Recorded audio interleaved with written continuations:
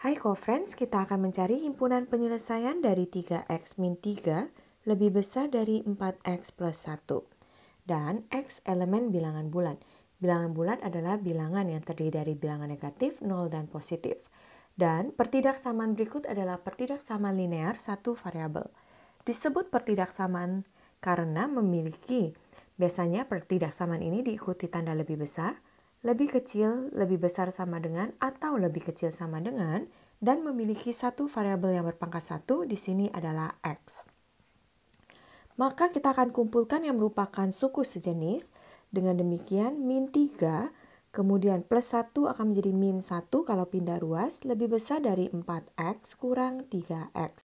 Min 3, min 1, min 4. Min 4 lebih besar dari X min 4 lebih besar dari X, maka jika kita letakkan X di kiri bisa menjadi X lebih kecil dari min 4. Jadi himpunan penyelesaiannya jika X lebih kecil dari min 4 adalah min 5, min 6, min 7, dan seterusnya. Jika kita urutkan, kita mulai dari yang terkecil, maka titik-titik-titik, kemudian min 7, min 6, min 5. Pilihan kita adalah yang C. Sampai jumpa di pertanyaan berikutnya.